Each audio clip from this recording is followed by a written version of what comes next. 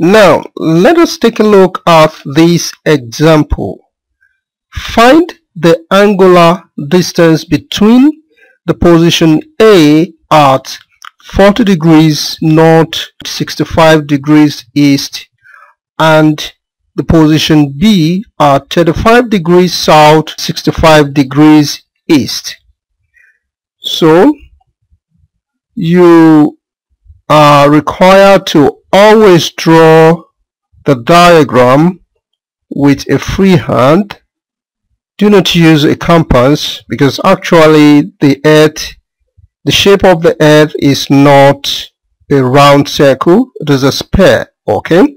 So when you draw the diagram the north pole is at the top the south pole is at the bottom. So you draw the polar axis to join both poles okay? Then in most cases you'll be required to draw the equator. So you make outline the equator so that we know all right? So then you go to the positions given. As we can see in the questions we can see similarity of 65 degrees east and 65 degrees east for both position okay? So we know this is the west zone and this is the east zone all right so that means the the right hand side is where we are going to draw that longitude. That is longitude okay? Good. Right. So then we go back to the positions for a. We have 40 degrees north 40 degrees north is up to the north okay? So you now draw the latitude upward towards the north pole. You can label it 40 degrees north. Then at the point at this point this is a. It is the point at which the longitude and the longitude and the latitude meet so that is at 40 degrees north 65 degrees east. You can as well label the the the longitude 65 degrees east. Okay?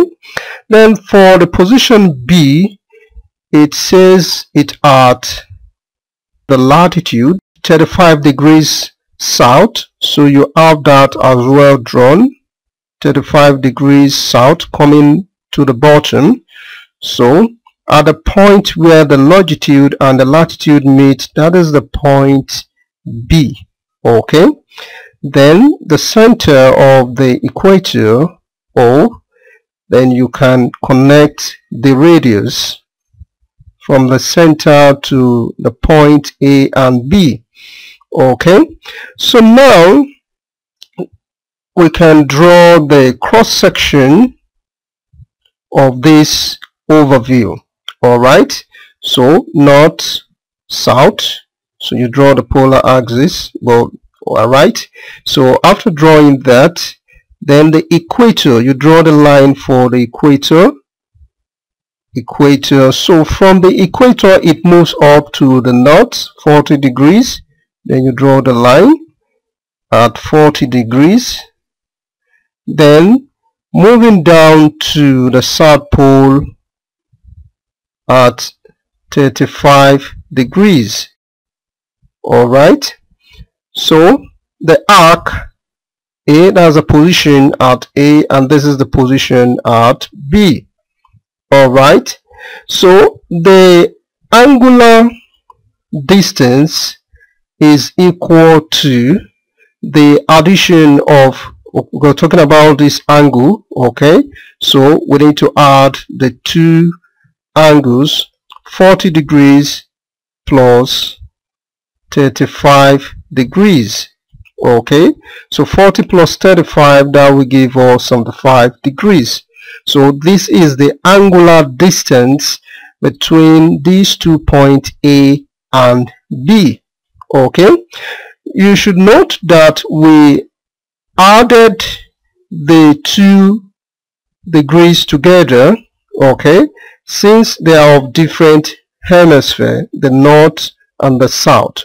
And you can see this is exactly what we're talking about this angle okay? So that is the angular distance and sometimes also called the angular difference of the two position A and B okay? Good